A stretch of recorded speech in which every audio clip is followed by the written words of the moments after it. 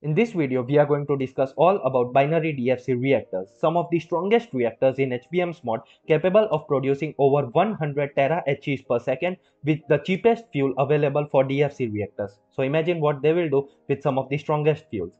Now before starting this video, I would like to thank P3 and Yaksin for actually helping me and showing me how to build these reactors and also a very big thanks to Velikan for the new channel intro. So without any further ado, let's get straight into it.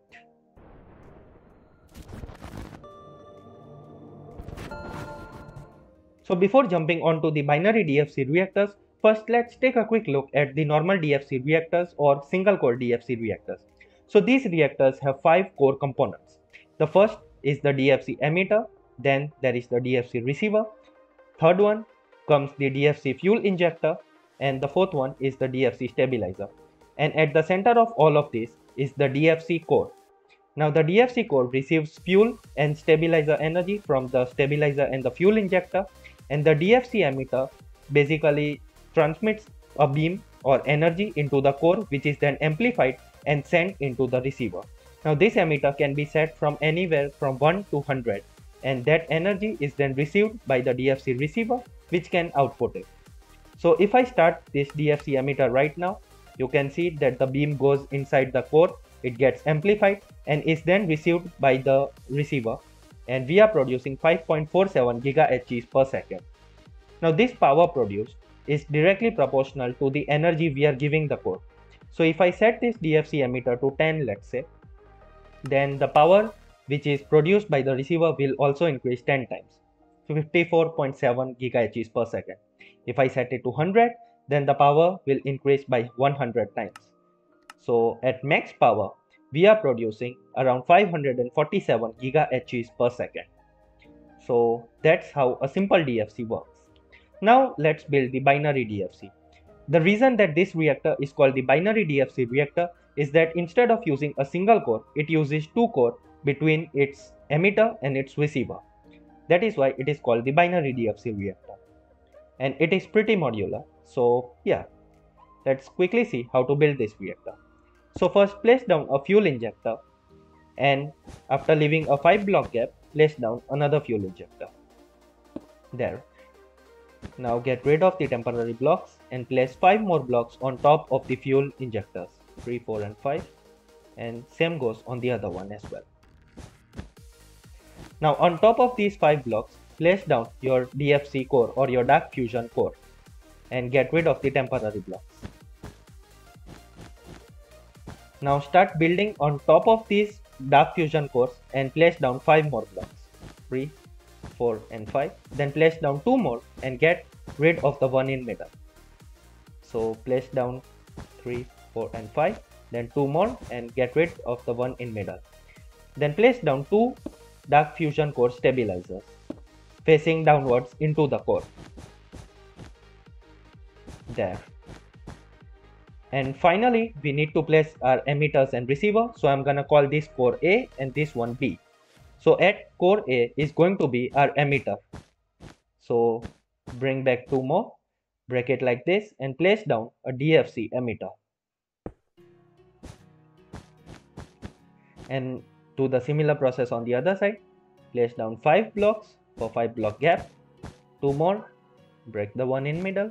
And here place down a dfc receiver and with that, the basic setup of the DFC reactor is complete. Alright. So now let's start placing down our stabilizer lens in the DFC stabilizers and set them to 100 and do not forget to press the save button. So press down your stabilizer lens and set the value to 100 and then save it. Next up we want to fill our core so place any compatible material. I'm gonna use the vibrant singularity and place down any two catalysts surrounding it in the dark fusion core so now we have a similar setup as we had in our single dfc reactor. Now for our fuel we are going to use the cheapest fuel available which is the liquid hydrogen and liquid oxygen. Now the reason i am using this fuel i'm just gonna show you guys in a little bit. Before set up both the fuel injectors to liquid hydrogen and liquid oxygen Now for the uh, for the sake of this tutorial, I'm going to use infinite fluid barrels, but you do not need to use that as these fuels can be produced in an infinite amount, even in survival. So yeah, but just for the sake of this tutorial, I'm going to place two barrels, one with liquid hydrogen and one with liquid oxygen and infinite fluid barrels in both of them.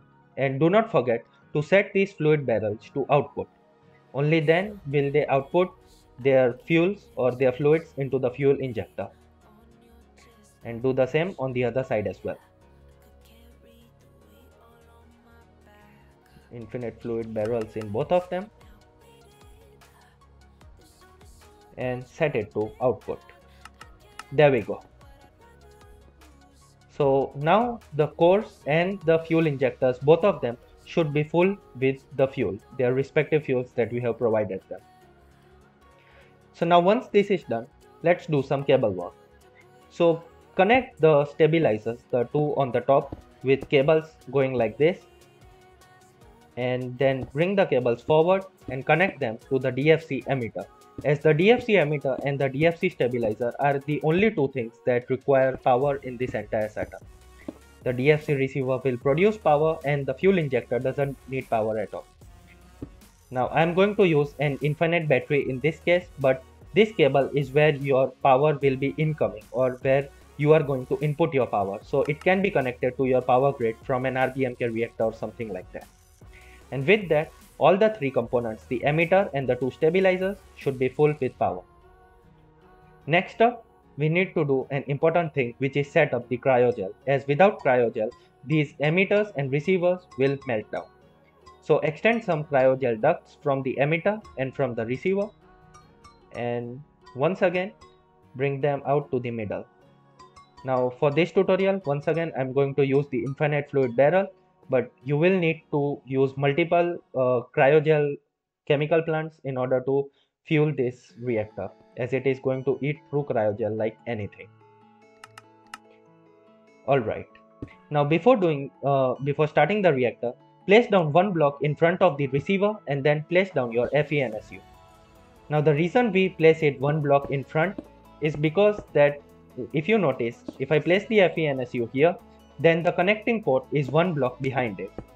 So by placing the FENSU like this, it is directly connected to the receiver. Now the reason it is directly connected is because the cables have a limit of 40.8 GHz per second. They cannot transfer more power through them. So in order to extract the full power from the receiver, you need to place your storage block directly on top of it or at least you need to do that in this update. So just for perspective, I am going to run the single core DFC reactor on a power of 10. And the fuels are same, cores are the same and we are getting 54.7 GHz per second. So that is the power we get with a similar configuration in a single core DFC reactor. Now let's see how good it runs on a dual or a binary DFC. So now as you can see, there are a total of two cores and we are getting 3.28 tera HEs per second. Not even giga this is 3.28 tera HEs per second. Several times more than the single DFC reactor can produce. This is how crazy the binary DFC reactor really is. But you can push it even more. If you set the power level to 16 and then run it, this is the maximum amount of power that the reactor can produce in this configuration. 52.55 tera HEs per second. Now this is maximum because you cannot push the emitter further than 16. If you do that, the reactor will actually explode. Now the reason we used liquid hydrogen and liquid oxygen as I told you guys was so that we can produce them infinitely even in a survival world. So if I take a chemical plant here with an self-charging battery and the chemistry template for cryo-electrolysis you just need to supply this chemical plant with infinite water and place down your speed upgrade in there and this chemical plant will produce infinite liquid hydrogen and liquid oxygen. Now, what do you, what can you do in order to increase the amount of power produced? Well, you can change the fuel in the second core. So, if you remember, we had two cores, right? So in the first core where the emitter is, I'm just going to keep it to liquid hydrogen and liquid oxygen. But in the second core, I have placed tritium and deuterium with the similar setup. So now the second fuel is tritium and deuterium and now when I going to power this emitter at a power level of 16 we are going to produce over 110 teraHs per second. That is crazy. That is more power than you will ever need in your world. And this is not even the strongest fuel in the game. Now, this is what happens when you set the power level more than 16. I have just set it to 17, one more. And boom. So it produces a Folk-Wagner field powerful enough to make a crater that is over a thousand blocks in diameter. That is one of the biggest explosions there is in the game. It ignores blast resistance whatsoever and completely wipes out a massive area. It's even out of my render distance. So yeah, be very careful while operating this reactor. I hope you guys like this video. If you did, do smash that like button. Subscribe to the channel for supporting me. Peace out guys. Stay safe.